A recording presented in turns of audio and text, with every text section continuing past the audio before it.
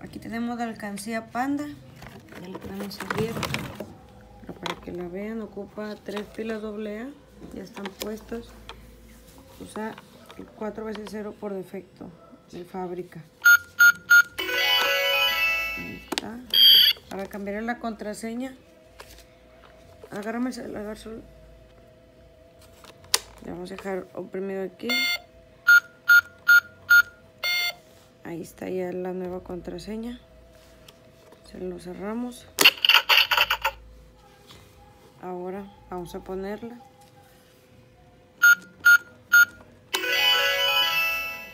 Y listo. Vamos a ingresar dinero.